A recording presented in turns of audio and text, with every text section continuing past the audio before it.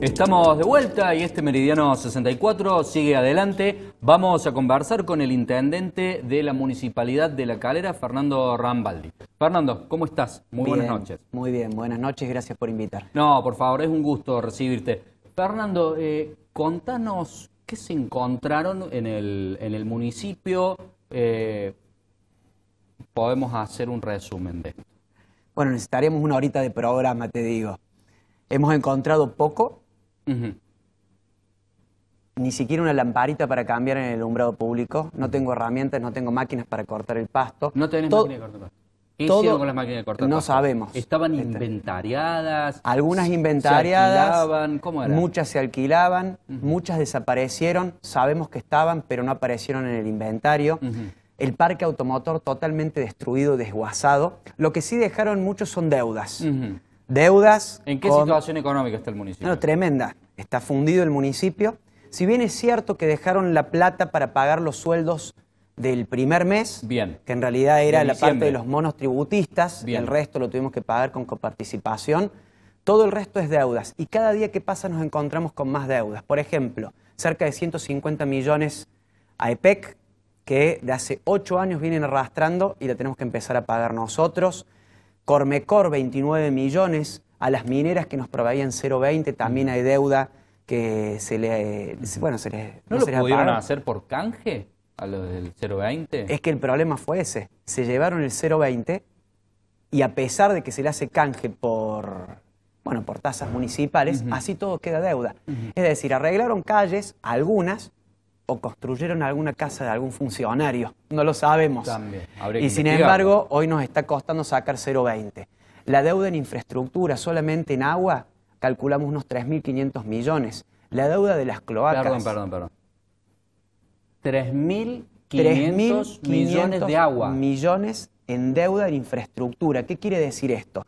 En la gestión de los Rufael que se fueron, dejaron de invertir el equivalente a un presupuesto anual completo. Se llevaron un presupuesto anual completo. Porque el mal político no es solamente aquel corrupto que se lleva la valijita los viernes a su casa. También es aquel que deja de hacer lo que debería hacer con la plata de la gente. Eh, te, quiero preguntar, Fernando. Pero te tiene una última deuda. Tomaron deuda para hacer las cloacas que todavía no la entregaron a un dólar a 76. La empiezo a pagar ahora en diciembre la deuda en dólares. La gente sabe a cuánto se fue el oficial, 830. Vamos a pagar las cloacas más caras de la Argentina, 12 veces lo que se presupuesto. Eh, uno cuando va eh, a Calera tiene partes de extrema pobreza, situaciones eh, catastróficas, pero también hay muchas urbanizaciones cerradas, tienen un parque automotor que con la alícuota del 3 al 5% de patente tiene que ingresar una cantidad fastuosa de dinero. Eh, al municipio. ¿En qué condiciones están esos impuestos? ¿Están al día las tasas?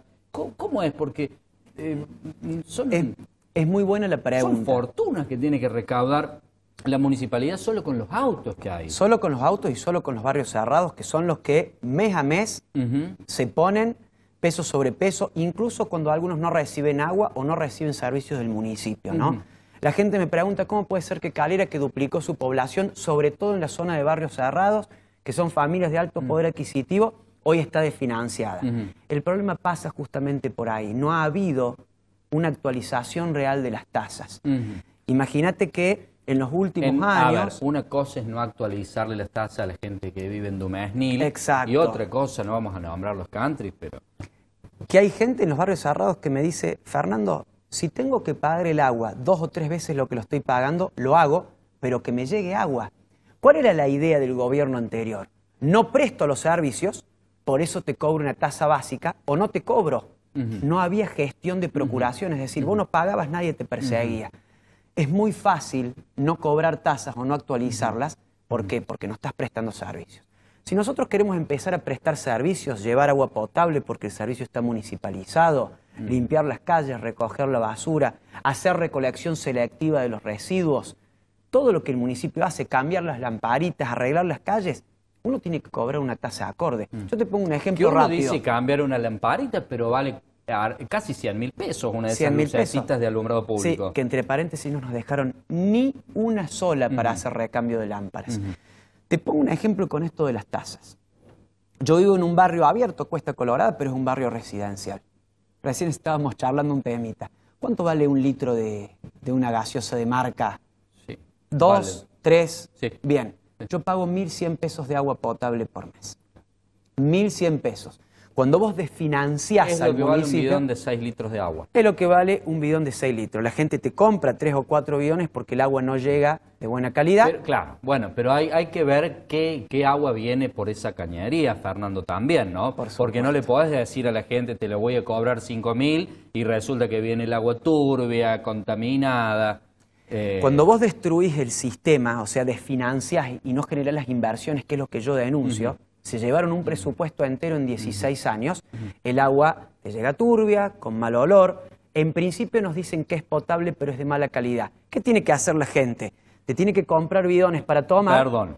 Y Eh, yo no le mando, le saludo a mi señorita de primer grado, el manual capelú de primer grado decía que el agua es inodora, incolora e insípida. insípida. Si, tiene, si está turbia, si tienes mal sabor, eh, no es agua potable. No le podés cobrar a la gente lo que sale el agua porque le estás mandando agua que no está en condiciones ópti- óptimas. La idea nuestra fue crear una Secretaría de Agua y Saneamiento con el objetivo de en cuatro años proveer a toda la municipalidad de La Calera, a todos los vecinos, 24-7 agua potable. Tenemos que de a poco ir acomodando las tasas porque desfinanciaron el sistema con esta idea populista de que el agua no se cobra, la mitad no paga y no te la cobro porque es de mala calidad. No, no, no. Tenés Bueno, que cobrarla. Es razonable que pero- no se cobre si es de mala calidad, porque no se cobre tanto. o que no se le cobre al que no le llega. En la última tarifaria nosotros pusimos específicamente una cláusula que dice que el que no recibe agua no se le cobra.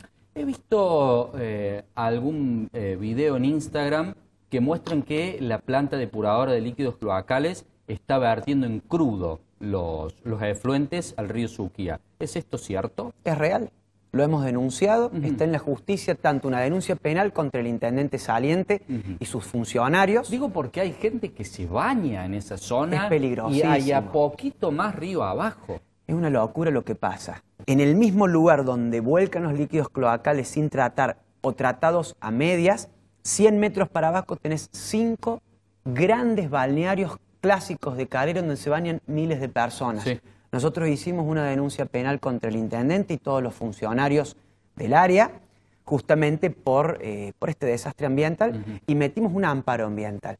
Lo positivo de todo esto ¿Se hizo algo? fue que la provincia, no el municipio, la provincia empezó a poner las cosas en su lugar y a, a través del APRI les costó un poquito, tuvimos que presionar, como te digo, un amparo con una denuncia en varias audiencias, pero empezaron a poner la nariz donde debían ponerla porque son corresponsables de lo que está pasando. Y el vertido al río Suquía, Sí, sí, el mismo río que después llega a Capital, Sí, no este que pasa por acá, no es el, el- el no sé qué río que no tiene Claro, que ver con Córdoba. claro. Por eso la denuncia fue algo importante, viene avanzando.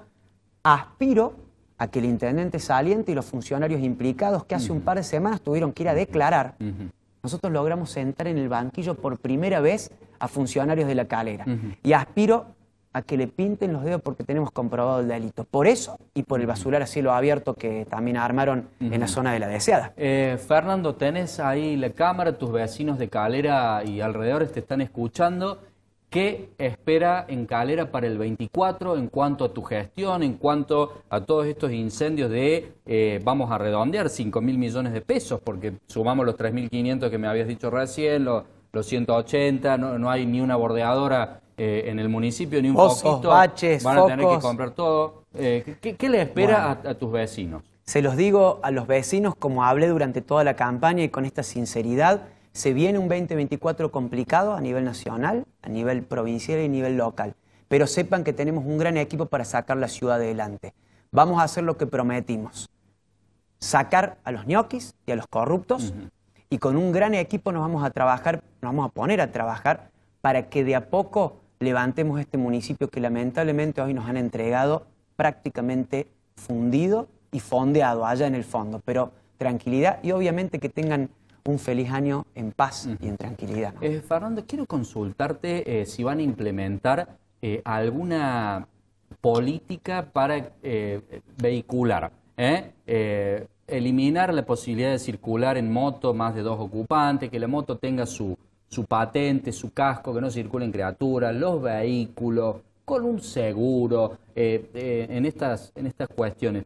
¿Tienen pensado algo? Estimo que me lo preguntas por el decreto nacional que solamente exige tres cuestiones y las otras las ha dejado un poco librado a las provincias y municipios. Claro, digo, eh, me parece que está también la parte de la salud. Hay lugares de Estados Unidos que el casco no es obligatorio porque la salud es privada, uno se mm. revienta la cabeza y se hace cargo de la, de la factura, pero eh, digamos que la luz, la moto tenga luz, el auto, sería algo lógico. En eso nosotros estimamos que el Estado sí debe intervenir para exigir ciertas cuestiones. Sí, sí, sí. Los policías municipales, tenemos un código de convivencia municipal, un código de faltas. Nosotros vamos a intervenir para que eh, la gente, vamos a ayudar a que la gente se mm, cuide. Mm. El casco es obligatorio, se va a exigir. Las luces son obligatorias, se van a exigir. Mm. El seguro es importante, se va a exigir. Muchas veces hay que empujar un poco a que la gente, eh, sea, es como lo del cigarrillo, como lo del cigarrillo. El que quiera fuma un cigarrillo, pero te lo voy a poner bien caro porque sabemos que cuando te agarre cáncer... Y lo tengo que pagar yo, claro. Lo tenemos que pagar entre todos.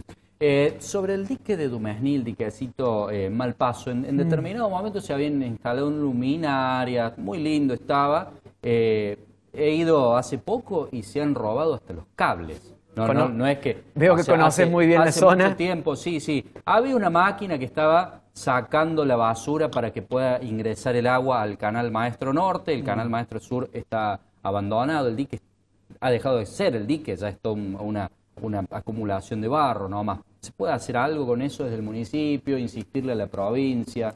Veo que conoces la zona, bueno, sos vecino también. Nosotros lo que estamos planificando en lo que es el dique Malpaso es armar una reserva en la zona. Una reserva que incluiría el mediano y largo plazo, porque esto lleva tiempo, sanear, sacar el barro, hacer un espacio habitable tanto para la flora y fauna autóctona que se ha instalado y hasta tortugas marinas en el lugar. Eh, acuáticas. Eh, eh, acuáticas, perdón, marinas no porque no tenemos todavía salida al mar. y trabajarlo junto a colegios para hacer una zona habitable. Tenemos un hermoso parque que es el Parque Dumesnil, que sí, se han robado el 80% de las luminarias, igual que el Icardi.